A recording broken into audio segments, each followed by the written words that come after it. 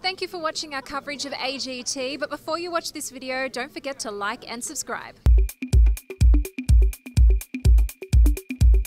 How unexpected was it this evening, the results, and who was in your top three?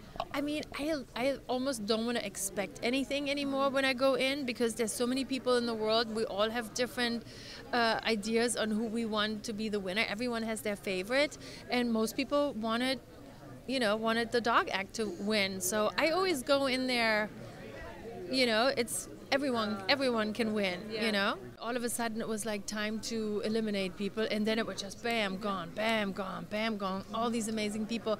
It was like a shock you know? We were all like no no no.